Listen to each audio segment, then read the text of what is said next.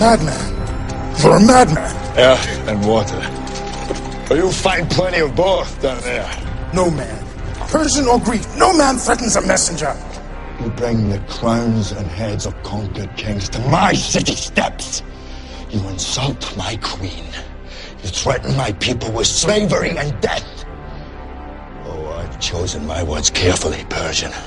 Perhaps you should have done the same. This is blasphemy. This is madness!